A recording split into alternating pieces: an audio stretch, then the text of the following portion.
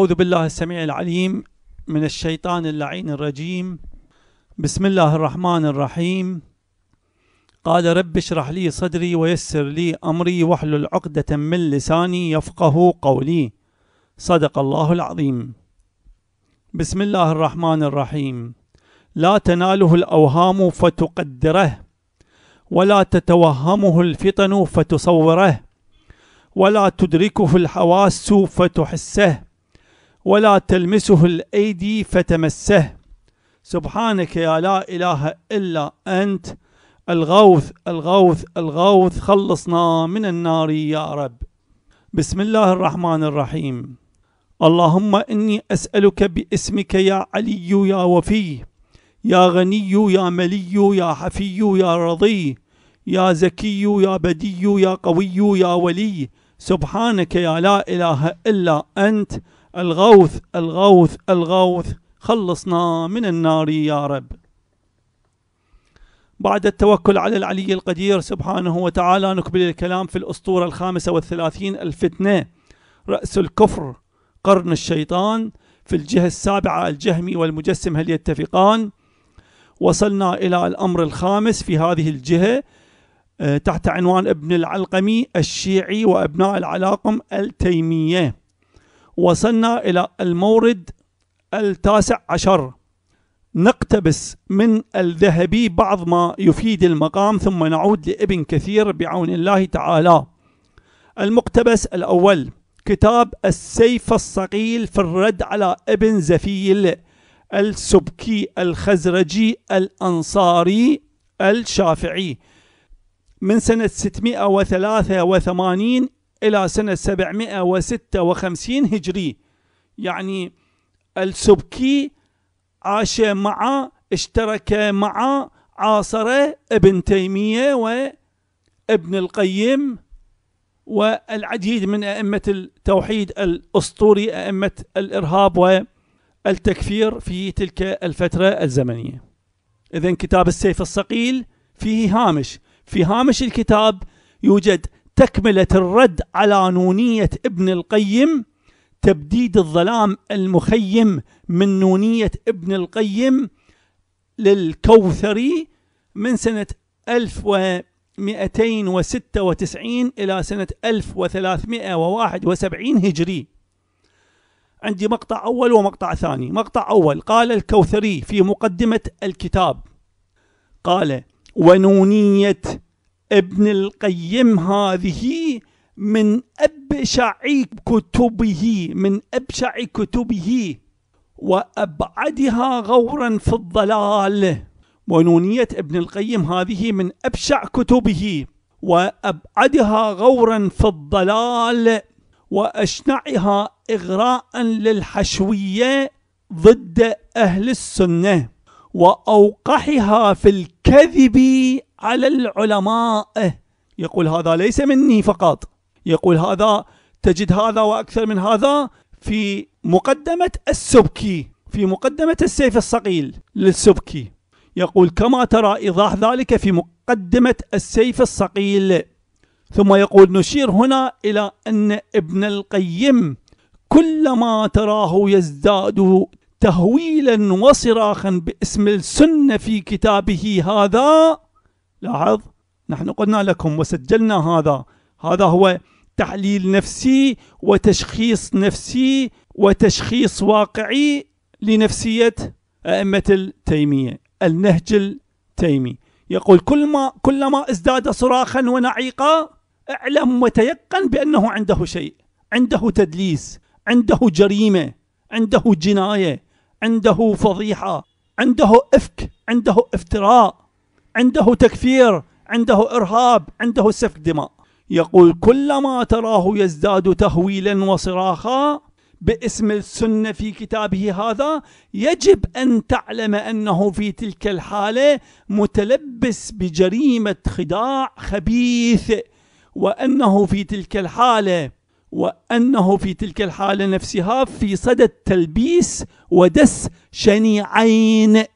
وإنما تلك التهويلات منه لتخدير العقول. لاحظ للتشويش للتغرير لتهيئة العقول.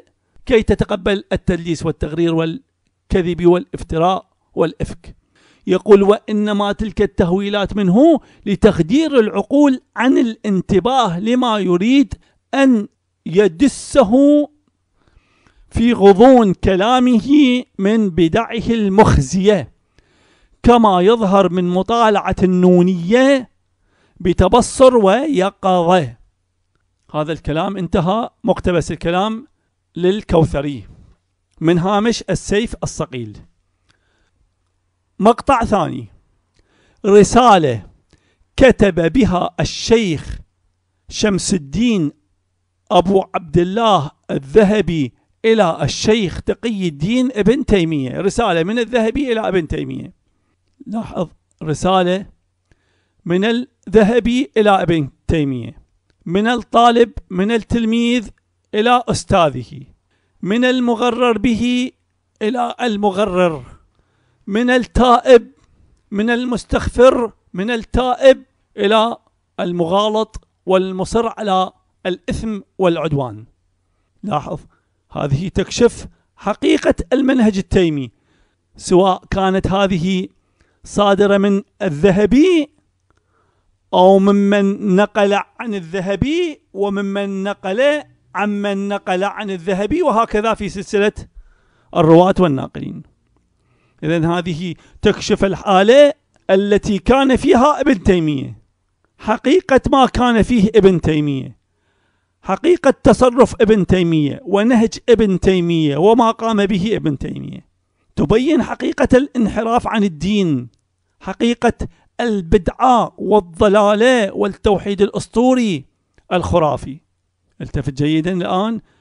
نحن لسنا بصدد الآن ننقل عبارة عن مقلدة وعبارة عن ببغاوات ننقل من هنا ومن هناك. لا نحن لو كل العالم كل العلماء من أهل الخرافة والجهل والعقول المتحجرة أيدت وصدقت وأمضت لابن تيمية فنحن أبطلنا ما أتى به ابن تيمية جملة وتفصيلا بالبسيط الجامع المانع بالدليل البديهي الضروري الواضح السلس المانع. إذا لم نأتي بإدعاءات ولم ننقل الكلام من فراغ ومن تقليد. لكننا أعطينا الدليل ووثقنا الحجة وأوصلنا الحجة وبعد هذا نأتي بإشارات بمؤيدات بتنبيهات بتوضيحات باحتجاجات وأدلة وبراهين وموارد تؤسس لحجة دامغة في أذهان أكبر عدد من ال من الإنسان من بني البشر بل حتى من البهائم. إذا الآن المهم في هذه الرسالة أنها تكشف ماذا كان يرى المجتمع في منهج ابن تيمية. تكشف لنا السبب الذي اجتمع من أجله أئمة المذاهب فأفتوا بقتل ابن تيمية. بخروج ابن تيمية من الدين واستحقاق ابن تيمية القتل. هذا هو المهم هنا. أنا قلت هذا حتى لا تتعب نفسك مع مدلسة الرب الأسطوري. عندما يأتون إلى الصوفية إلى الأشاعرة إلى المعتزلة إلى الشيعة إلى الجهمية تسمعون هذا يتكرر. عن أئمتهم يقول إمامكم قال عنكم كذا. شيخكم إمامكم تاب في آخر حياته. صار من السلفية. وعندما يأتي عن شخص من السلفية أو ممن يدعون أنه من السلفية وتأتي بما ذكره هذا الشخص بما يخالف النهج السلفي والنهج السلفي الأسطوري المكفر الإرهابي هذا الذي نقصد به. ماذا يقولون؟ يقولون تاب آخر حياته. رجع إلى السنة. أو يقولون لم يصدر منه هذا الأمر. هذا افتراء عليه هذا كذب علي عليه لم يصدر منه. إذا لا يهم الآن يصدر هذا الكلام من هذا الشخص أو من ذاك الشخص. المهم الآن عندنا ما هي الحالة الاجتماعية المجتمعية المشاعة في مجتمع ابن تيمية وفي عصر ابن تيمية عن ابن تيمية وعن منهج ابن تيمية سواء قال بهذا الذهبي أو غير الذهبي. هو الذهبي مقلد لابن تيمية. فماذا يهم سواء أيد أو لم يؤيد؟ لا يهم هذا في المقام. نحن أبطلنا. وقطعنا رأس الأفعاء المدلسة وأفعاء التدليس التيمي. يبقى الذنب هنا والأذناب هنا والأذناب هناك هذه لا تؤثر. لأننا حطمنا رأس أفعاء التدليس والإرهاب والتكفير. هذا هو كافي. فماذا يؤثر الأذناب؟ لا تأثير لهم. إذا نقول رسالة كتب بها الشيخ شمس الدين أبو عبد الله الذهبي إلى الشيخ تقي الدين بن تيمية. يقول له بسم الله الرحمن الرحيم. التفت جيدا. سواء كانت قلنا من الذهبي أو من القاضي أو من قاضي القضاة أو من العالم المحدث الفقيه العارف الشافعي الحنفي الحنبلي المالكي. المهم هي تكشف حقيقة ما كان فيه المنهج التيمي يقول الذهبي في رسالته إلى ابن تيمية يقول بسم الله الرحمن الرحيم. الحمد لله على ذلتي. يا رب ارحمني وأقلني عثرتي. واحفظ علي إيماني. وحزناه على قلة حزني. و وأسفاه على السنة وذهاب أهلها وشوقاه إلى إخوان مؤمنين يعاونونني على البكاء وحزناه على فقد أناس كانوا مصابيح العلم وأهل التقوى وكنوز الخيرات. آه على وجود درهم حلال وأخ مؤنس.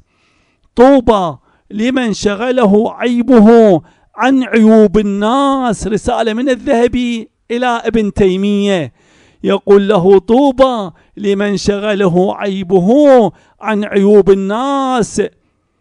وتبا تبا يا ابن تيمية. وتيب وتبا لمن شغله عيوب الناس عن عيبه.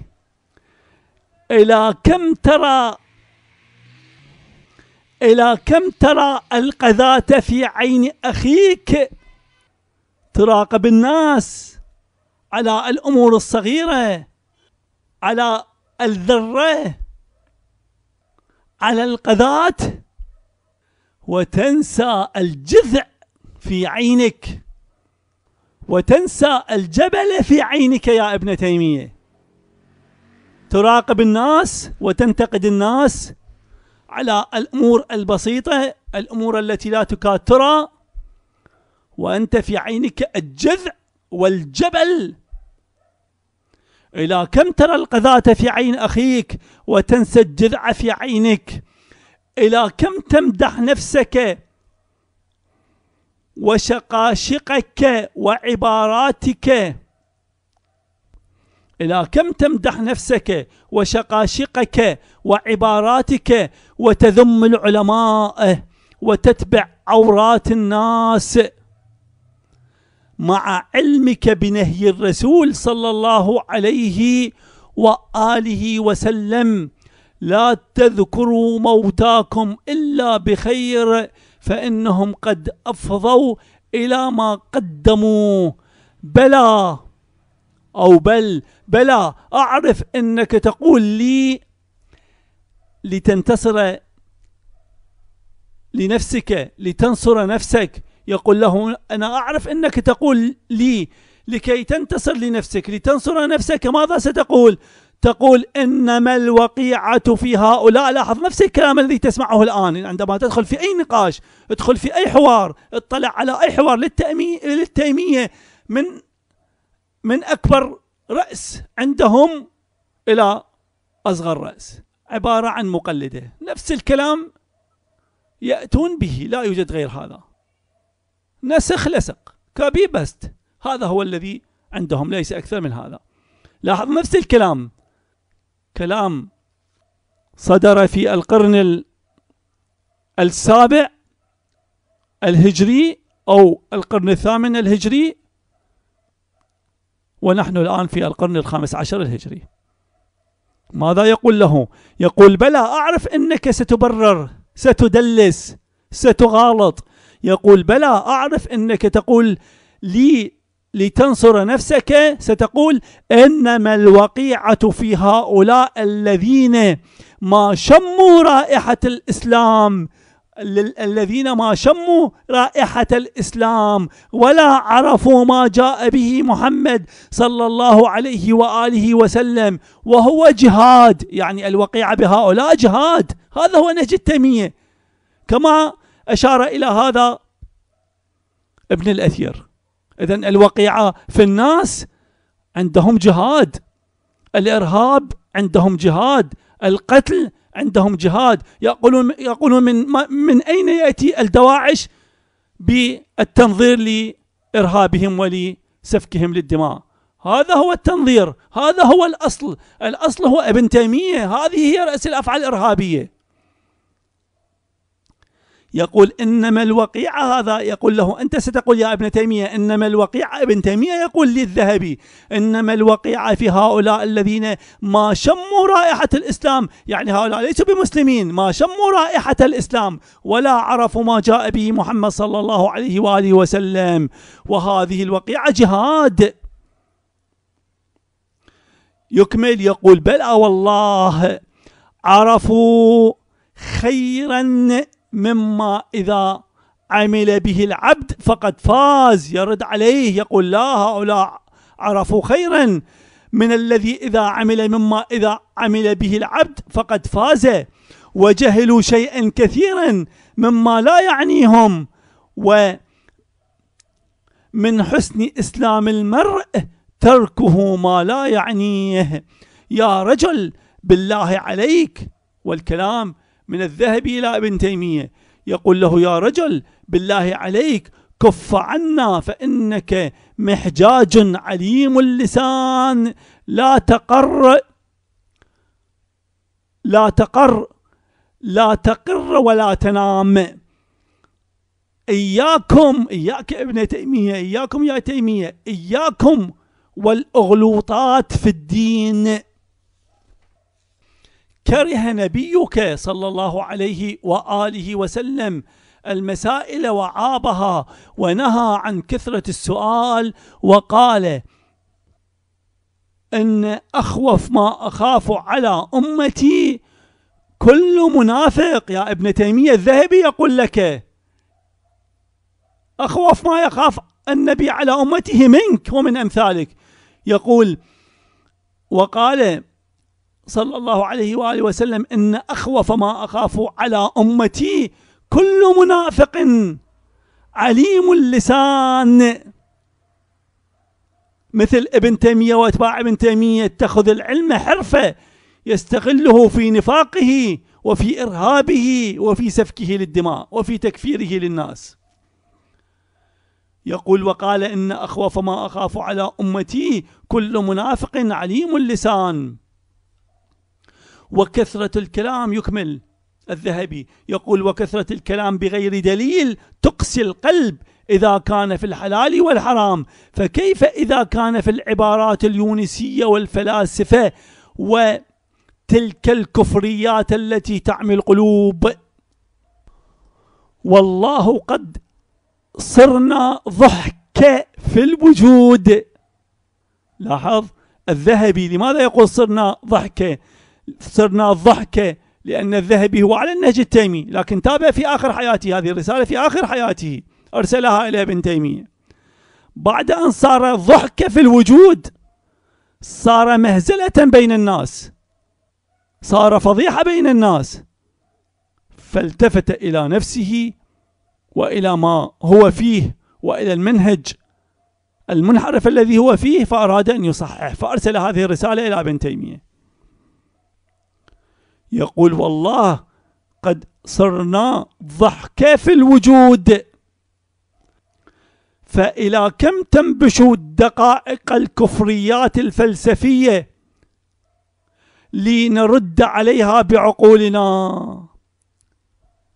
يا رجل قد بلعت سموم الفلاسفة ومصنفاتهم مرات وبكثرة استعمال السموم يدمن عليها الجسم وتكمن والله في البدن وأشوقاه إلى مجلس فيه تلاوة بتدبر وخشية بتذكر وصمت بتفكر واهن لمجلس يذكر فيه الأبرار فعند ذكر الصالحين تنزل الرحمة. بل عند ذكر الصالحين عند مجلس التيمية مجلس التكفير والإرهاب يقول بل عند ذكر الصالحين يذكرون بالازدراء واللعنة يقول له كان سيف الحجاج. كان سيف الحجاج ولسان ابن حزم شقيقين. فواخيتهما. بالله خلونا من ذكر بدعة الخميس وأكل الحبوب. وجدوا في ذكر بدع كنا نعدها رأسا من الضلال. قد صارت هي محض السنة وأساس التوحيد. لاحظ هذا التجسيم. التجسيم الأسطوري. الصور الكرتونية السندبادية البحرية. البرباء الشاطرية. الخرافة التيمية. هذا التجسيم وهذا الجسم وهذه الصور المليارية والأجسام المليارية التي يتجسد بها الرب صارت من أساسات التوحيد صارت هي محض السنة وأساس التوحيد. يقول وجدوا في ذكر بدع كنا نعدها رأسا من الضلال قد صارت هي محض السنة وأساس التوحيد ومن لم يعرفها فهو كافر أو حمار. لاحظ من لا يقبل بما يقولون من خرافة ومن خزعبلات ومن أساطير ومن جسم وأجسام للإله للرب. يقول يتهمون هذا ومن لم يعرفها فيقولون فهو كافر أو حمار. ولم ومن لم يكفر هؤلاء فهو أكفر من فرعون. لاحظ نفس الأسلوب نفس الكلام ليس بجديد ما تسمعون الآن. الآن ما تسمعون من خطاب الدواعش من الخطاب الإرهابي في كل العالم باتجاه كل الناس من المسلمين ومن غير المسلمين في بلاد الشرق وفي بلاد الغرب نفس الأسلوب. الأساس والأصل والمنبع هو ابن تيمية وفكر ابن تيمية. لاحظ نفس الكلام. يقول ومن لم يعرفها فهو كافر أو حمار ومن لم يكفر فهو أكفر من فرعون. وتعد النصارى مثلنا. والله في القلوب شكوك.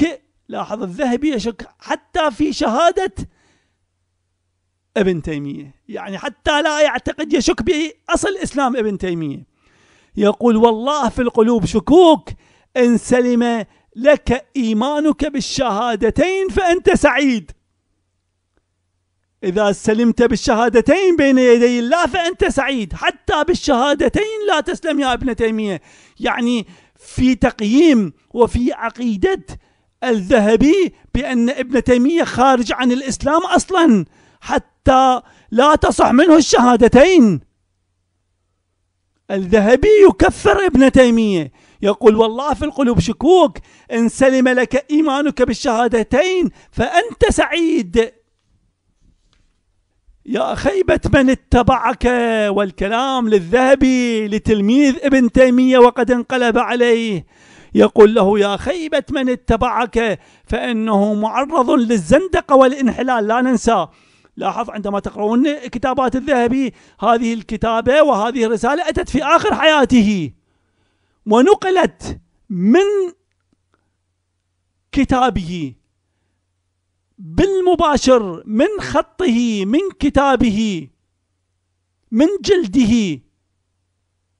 وأمضاها العلماء الفقهاء القضاة. في آخر حياته انقلب عليه. أدركته التوبة. فلذلك نرى في كتابات الذهبي ما يسبق التوبة. عندما كان على الخط التيمي التكفيري الإرهابي التدليسي وما بعد ما بعد التوبة. يقول يا خيبة من اتبعك فإنه معرض للزندقة والانحلال. يا أتباع ابن تيمية لست أنا من أقول. وإنما الذهبي يقول أنكم زنادقة. يا زنادقة على قول الذهبي. الذهبي هذا إمامكم. يقول أنتم زنادقة يا أتباع التيمية. يقول يا خيبة من اتبعك فإنه معرض للزندقة والانحلال. ولا سيما إذا كان قليل العلم والدين. باطوليا شهوانيا ممن يقول بأن الأرض مسطحة وبأن الشمس تدور حول الأرض فيتكون وينشأ الليل والنهار. هؤلاء زنادقة. الذهبي يقول إمام التيمية يقول هؤلاء زنادقة. يا خيبة من اتبعك؟ فإنه معرض للزندقة والانحلال ولا سيما إذا كان قليل العلم والدين. باطوليا شهوانيا. يقول لكن هؤلاء البهائم هؤلاء الزنادقة يقول له هؤلاء زنادقة ينفعونك. يقول لكنه ينفعك ويجاهد عنك بيده ولسانه وفي الباطن عدو لك بحاله وقلبه. فهل معظم أتباعك إلا قعيد مربوط خفيف العقل يا أتباع ابن تيمية. هذا هو وصفكم هذه حقيقتكم. يقول فهل معظم أتباعك إلا قعيد مربوط خفيف العقل أو عامي كذاب بليد الذهن أو غريب واجم قوي المكر أو ناشف صالح عديم الفهم؟ فإن لم تصدقني ففتشهم وزنهم بالعدل. يا مسلم يقول لابن تيمية يا مسلم أقدم حمار شهوتك لمدح نفسك. هذا توجيه العبارة كما وجدت في المصدر. هل اتبعت حمار شهوتك؟ هذا حمار الشهوة الذي يمدح النفس والذي مدح نفسك. هل تتبع هذا؟ هل تقدم هذا؟ هل تصدق بهذا؟ يا مسلم أقدم حمار شهوتك لمدح نفسك إلى كم تصادقها وتعادي الأخيار؟ إلى كم تصدقها وتزدري بالأبرار؟ إلى كم تصادق النفس والشهوة وحمار الشهوة؟ إلى كم تصادقها وتعادي الأخيار؟ إلى كم تصدقها وتزدري بالأبرار؟ إلى كم تعظمها وتصغر العباد؟ إلى متى تخاللها وتمقت الزهاد؟ إلى متى تمدح كلامك بكيفية لا تمدح بها؟ والله أحاديث الصحيحين يا ليت أحاديث الصحيحين تسلم منك. بل في كل وقت تغير عليها بالتضعيف والإهدار أو بالتأويل والإنكار. لاحظ؟ هذا الذي نقول لكم. التفت جيدا. لاحظ؟ الذهبي يقول له أنت يا تيمي يا ابن تيمية لا تعترف حتى بالصحيحين. في كل وقت تغير على الصحيحين بالتضعيف والإهدار. إذا لاحظ هذا هو النهج الذي يختلف عن نهج الصحابة. هذا هو نهج التكفير نهج الإرهاب نهج النفاق نهج التدليس. يا ليت أحاديث الصحيحين تستم منك بل في كل وقت تغير عليها بالتضعيف والإهدار أو بالتأويل, أو بالتأويل والإنكار. أما آن لك أن ترعوي أما آن لك أن ترعوي أما حان لك أن تتوب وتنيب أما أنت في عشر السبعين وقد قرب الرحيل. أنت في عشر السبعين في السبعين من عمرك وقد قرب الرحيل متى تتوب؟ بلى والله يكمل يقول بلى والله. ما أذكر أنك تذكر الموت بل تزدري بمن يذكر الموت. أخذ صك الحياة والبقاء والخلود من الرب الشاب الأمرد. يقول بلى والله يقسم يقول بلى والله ما أذكر أنك تذكر الموت. لم أسمع منك أن تذكر الموت. بلى والله ما أذكر أنك تذكر الموت بل تزدري بمن يذكر الموت. فما أظنك تقبل على قولي ولا تصغي إلى وعظي بل لك همة كبيرة في نقض هذه الورقة بمجلدات وتقطع لي أذناب الكلام ولا تزال تنتصر حتى أقول لك البت سكت أو ليته سكت فإذا كان هذا حالك عندي وأنا الشفوق المحب الواد فإذا كان هذا حالك عندي وأنا الشفوق المحب الواد فكيف يكون حالك عند أعدائك؟ وأعداؤك والله فيهم صلحاء وعقلاء وفضلاء كما أن أولياءك فيهم كما أن أولياءك فيهم فجرة وكذبة وجهل وبطل وعور وبقر. والكلام للذهبي قد رضيت منك بأن تسبني علانية وتنتفع بمقالتي سرا. رحم الله امرأ أهدى إلي عيوبي. رحم الله امرأ أهدى إلي عيوبي. أهدى إلي عيوبي فإني كثير العيوب. غزير الذنوب الويل لي إن أنا لا أتوب. ووا فضيحتي من علام الغيوب. ودوائي عفو الله ومسامحته وتوفيقه وهدايته. والحمد لله رب العالمين. وصلى على سيدنا محمد خاتم النبيين. وعلى آله وصحبه أجمعين. انتهى مقتبس الذهبي. المقتبس الثاني كتاب تاريخ الإسلام الجزء في الجزء الثامن والأربعين في صفحة 28 وما بعدها. إذا عندي مقتبس أول كان كتاب السيف الصقيل واقتبسنا منه. والآن كتاب تاريخ الإسلام للذهبي. إذا المقتبس الثاني الذهبي تاريخ الإسلام في الجزء الثامن والأربعين في صفحة 28 وما بعدها. سنة خمس وخمسين وستمائة سنة ستمائة وستة وخمسين هجري. أولا قال الذهبي تردد رسل التتار إلى بغداد وفيها ترددت رسل التتار إلى بغداد وكانت الفرامين منهم واصلة. إلى ناس من بعد ناس من غير تحاش منهم. في ذلك ولا خيفة لا يوجد خوف ولا تردد. الفرامين واصلة من ناس إلى ناس. من أشخاص إلى أشخاص. من منطقة إلى منطقة. من مدينة إلى مدينة. من مجتمع إلى مجتمع. من محلة إلى محلة. من عشيرة إلى عشيرة. إذا القضية مشاعة القضية معروفة القضية واصلة.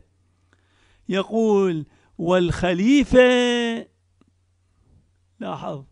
يقول والخليفة ماذا به؟ الفرامين واصلة إلى ناس من بعد ناس من غير تحاشم منهم في ذلك. ولا خيفة لا يخاف التتار لا يخافون لا يوجد منهم من غير تحاشي منهم من التتار ولا خيفة. والخليفة أين؟ يقول والخليفة والناس في غفلة عما يراد بهم ليقضي الله أمرا كان مفعولا. أقول قال تعالى فإنها لا تعمى الأبصار ولكن تعمى القلوب التي في الصدور. يا منهج التدليس لقد أعمى الله قلوبكم وأبصاركم وطبعكم بالنفاق إنها رسل التتار الفرامين إنها رسل التتار المتتالية والفرامين العلنية غير المخ غير المخفية إنها الكتب الرسمية الصادرة من سلاطين التتار وأمرائهم فيها تعيينات وقرارات وأوامر وأحكام تصل إلى ناس بعد ناس تصل إلى ناس بعد ناس في بغداد ورسل المغول تصول وتجول في بغداد بالعلن والجهر وبلا خوف ولا تردد. وقبل عام وأكثر من عام عن سقوط بغداد فهل يبقى شيء مخفي؟ عن المغول حتى يكشفه لهم. ابن العلقمي. يا عقول متحجرة. بعد كل هذا وتقولون ابن العلقمي هو الذي كشف إسرار بغداد وإسرار الخليفة وجيش الخليفة وجند الخليفة لهولاكو. وهل بقي للدولة هيبة وحصانة حتى يتردد هولاكو في غزوها وإسقاطها حتى يحتاج إلى تسويلات وتشجيع وتحريض ابن العلقمي.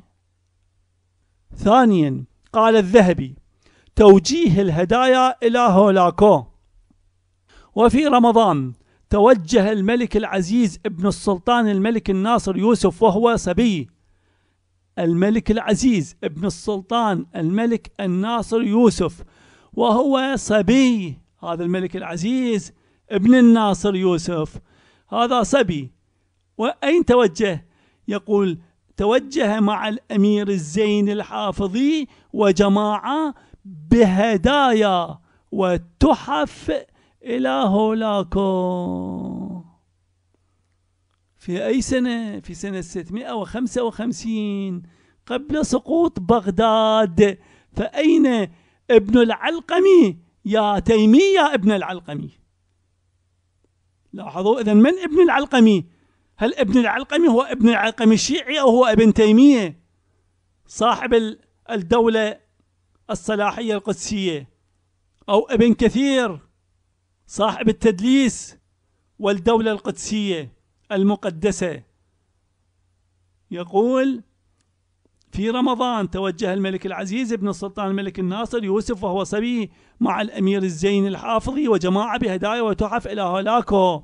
أقول الخليفة ولي الأمر سلطان الدولة القدسية التيمية الملك الناصر صلاح الدين يوسف ابن العزيز ابن الظاهر ابن الفاتح صلاح الدين الأيوبي. قبل أكثر من عام من سقوط بغداد كان تحت سلطة هولاكو وأوامره مظهرا الطاعة والولاء له على سيرة لؤلؤ فيرسل الهدايا والتحف إلى هولاكو. بيد ابنه الملك العزيز ومعه الأمراء فهذا ابن العلقمي التيمي أين؟ وابن العلقمي الشيعي أين؟ فهذا ابن العلقمي التيمي أين؟ وابن العلقمي الشيعي أين؟ عقول فارغة.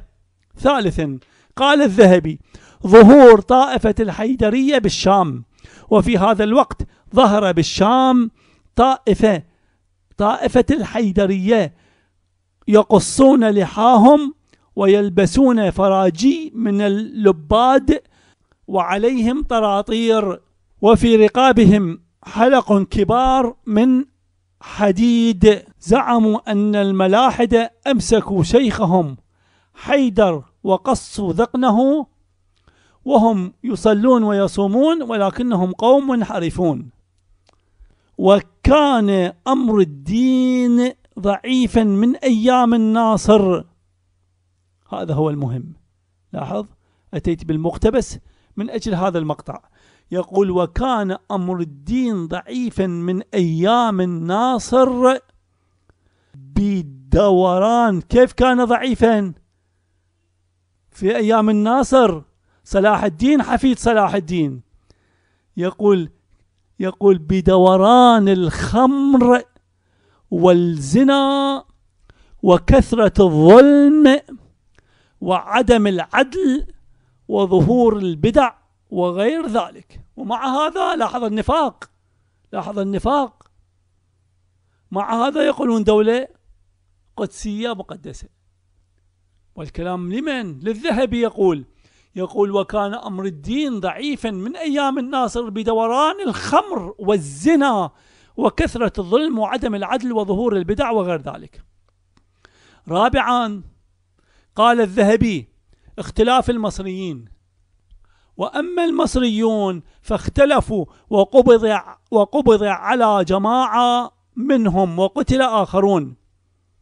متى هذا؟ قبل سقوط بغداد. أقول يا ابن تيمية هل هذا حصل بخيانة وتآمر وغدر وتدبير وتخطيط؟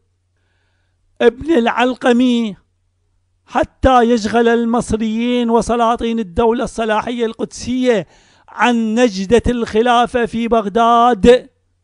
عقول متحجرة. المورد العشرون.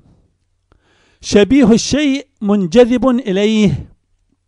عودة إلى ابن تيمية ومنهجه المقدس ودولته الناصرية القدسية وأقباسها الأقدسية التي لا تحصى.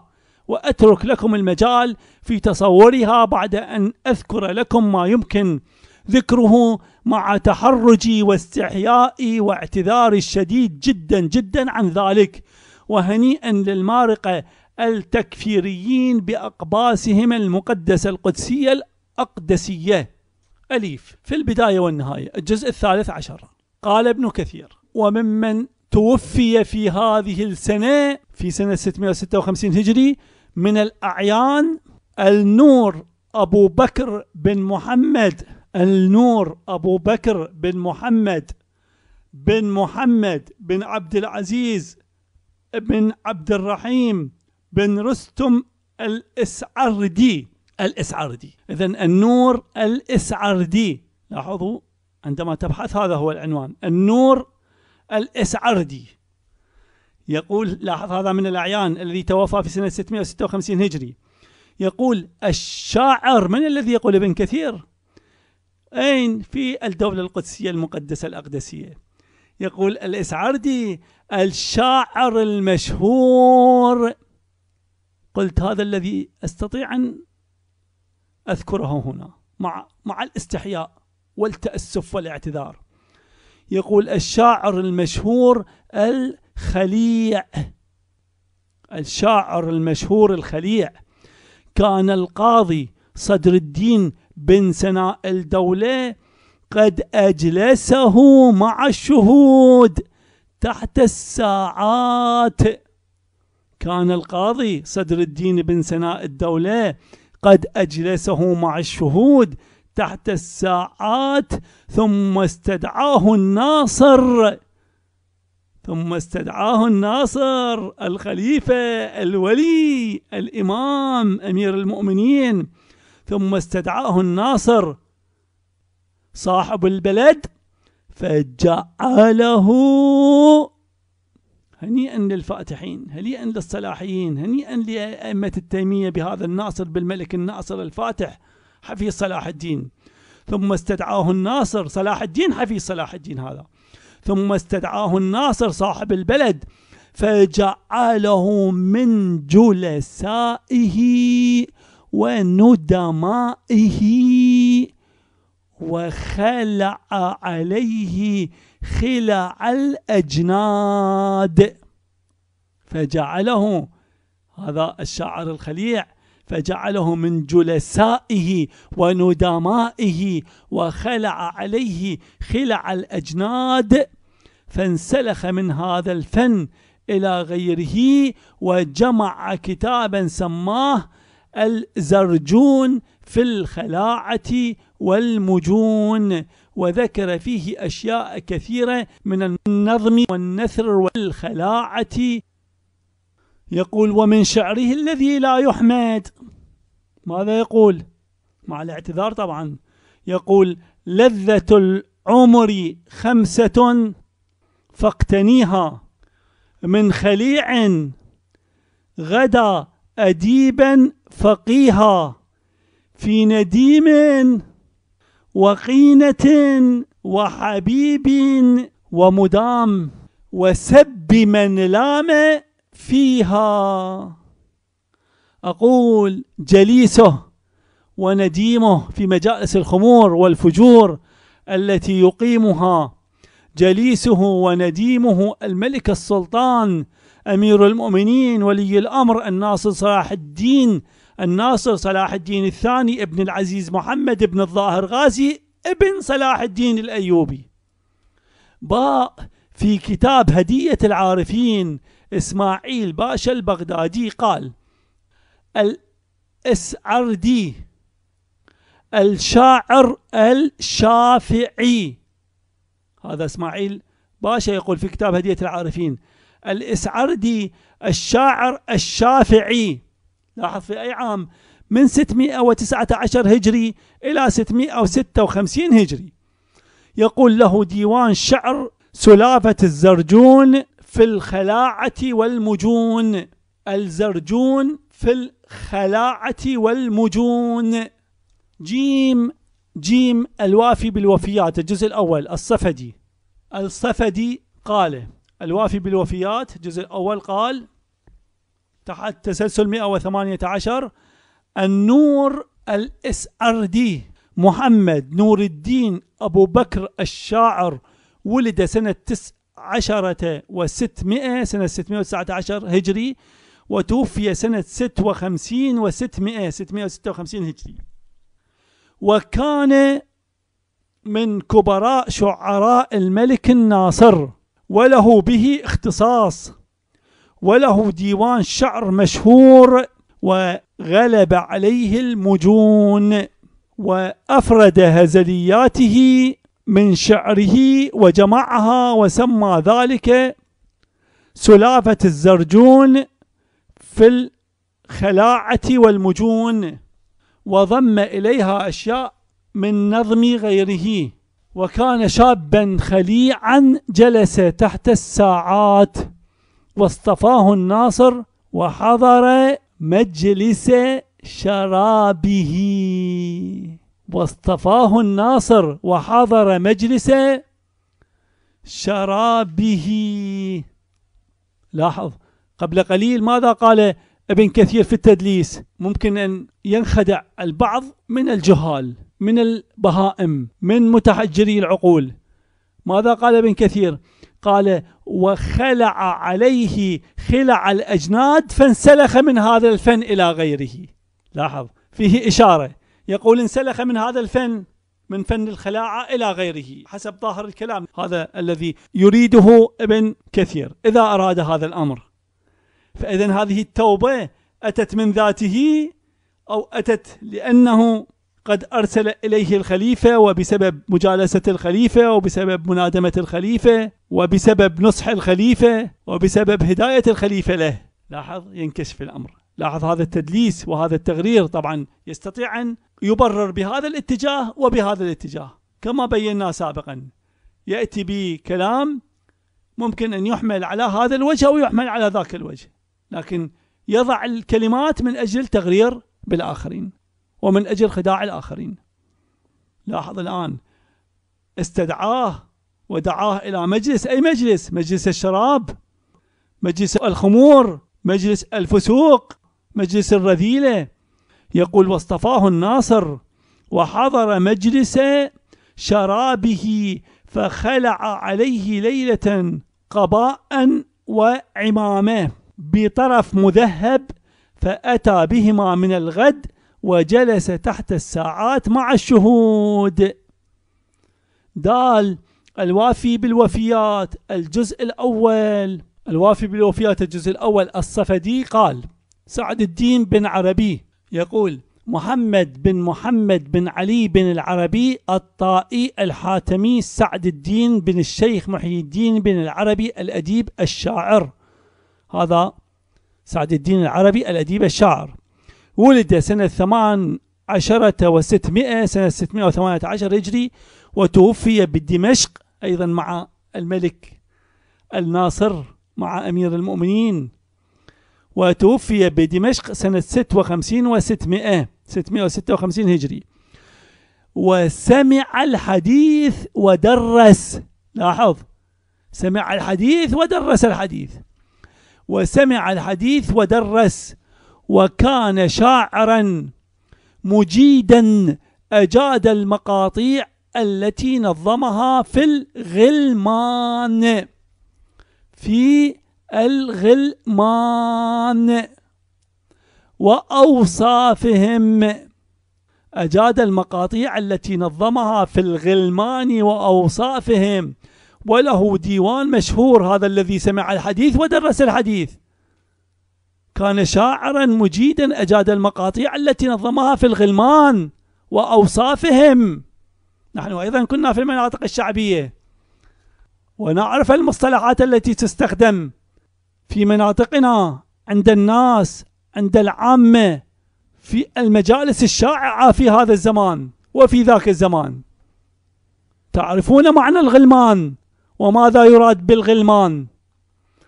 يقول ومن شعره في مليح لاحظ كل الشعر في الغلمان. هذا نقول في الأولاد في المليحين في الوسيمين في الحلوين وأنتم تعرفون الباقي. ماذا يقول؟ لاحظ شعر منوع يقول ومن شعره ومن شعره في مليح ويكتب البعض في في وسيم. ومن شعره في مليح رآه بالزيادة في دمشق. ماذا قال؟ قال قلنا مع الاعتذار يا خليلي في الزيادة ظبي سلبت مقلتاه جفني رقادة. يا خليلي في الزيادة ظبي سلبت مقلتاه جفني رقادة. كيف أرجو السلو عنه وطرفي ناظر حسن وجهه في الزيادة. وقوله في مليح قاض كذا وكذا وكذا. و وقوله أو من قوله وقوله في غلام لبس قاضياني كذا وكذا وكذا. وقوله في مليح قواس كذا وكذا. وقوله في مليح لبان كذا وكذا. وقوله في مليح مناخلي كذا وكذا. هذا الذي سمع الحديث ودرس الحديث. وقوله في مليح أشقر الحاجب أيضا له شعر في هذا. وقوله في مليح يقطف مشمشا يعني ليس عنده شغل ولا عمل إلا متابعة الغلمان ومراقبة الغلمان ومعاشرة الغلمان والتعامل مع الغلمان وإتيان الغلمان والكذا مع الغلمان والشعر للغلمان والتفكير بالغلمان والأمرد والشاب الأمرد والرب الأمرد وصور الأمرد والأجسام والصور المليارية والمجسمات المليارية. وغالب مقاطعه التي في الغلمان من الحسن من الحسن والجودة في هذه الطبقة. وأكثر ديوانه في الغلمان. ها الأعلام الزركلي. الجزء السابع في صفحة 29 سعد الدين بن عربي 618 إلى 656 هجري. محمد بن محمد بن علي بن عربي الطائي الحاتمي سعد الدين بن الشيخ محي الدين بن العربي شاعر ولد ولد في ملطية وسمع الحديث ودرس ودرس وناب في دمشق وتوفي بها ودفن بقرب أبيه له ديوان شعر لاحظ سمع الحديث ودرس ودرس وناب في دمشق وتوفي بها ودفن بقرب أبيه له ديوان شعر أكثره في الغلمان وأوصافهم. أكثره في الغلمان وأوصافهم. انتهينا من الأمر الخامس ابن العلقمي الشيعي وأبناء العلاقم التيمية. ذكرنا العديد من الموارد ويوجد قبل الأمر الخامس وأيضا سيأتي أيضا لاحقا. بعض الأمور أيضا ممكن أن تكون ضمن الأمر الخامس تحت عنوان ابن العلقمي الشيعي وأبناء العلاقم التيمية. كذلك في باقي الموارد ممكن يعني جمع شواهد من هنا وهناك وتقتبس من خلال البحث ومن متفرقات البحث فتكون يعني أكثر عددا وأكثر حجة لو جمعت في مورد واحد في مقام واحد في بحث واحد حسب من يريد أن يطور البحث ويعمق البحث ويوضح البحث. الأمر السادس روزخونيات التيمية ومجالسهم الحسينية. روزخونيات التيمية ومجالسهم الحسينية. لا تستغرب من العنوان فإنه واقع حال وكما هو معتاد وقد مر علينا كثيرا وصار أمرا يقينيا أن التيمية يكفرون الناس ويقتلونهم بناء على تهمة بناء على تهمة وافتراء. نجد التيمية وأئمتهم أنفسهم يفعلونها وبأبشع صورها. كما في رفع شعار التوحيد وإذا بهم يجسدون الإشراك بأفحش وأبشع صورها وبأفحش وأبشع صوره وبما يفوق التصور حتى جعلوا من الله مليارات الأرباب. المتجسدة في صور والمتجسدة في أجسام مختلفة. ونجد كتبهم وخطبهم ومجالس حديثهم الخاصة والعامة ممتلئة ومكتظة بذكر الأموات وإحياء سيرتهم وتمجيد وتزويق صورة من يشاءون منهم. وبمدحهم والترحم عليهم فيما نجدهم يأفكون غيرهم ويفترون عليهم ويسبونهم ويطعنون بهم ويلعنونهم. ولا تستغرب لو وجدتهم ينهون مجالسهم بذكر مصيبة الحسين عليه السلام حسب ما يخدم مجالسهم الشيطانية المكفرة الإرهابية القاتلة. ونكتفي بذكر نموذج واحد من مجالسهم وروزخونياتهم عن إمامهم ابن كثير في البداية والنهاية الجزء الثالث عشر. ويأتي الكلام في روزخونيات التيمية ومجالسهم الحسينية. والحمد لله رب العالمين والعاقبة للمتقين وصل اللهم على محمد وآله الطيبين الطاهرين وأسألكم الدعاء. الله أكبر الله أكبر الله أكبر. اللهم صل على محمد وآل محمد.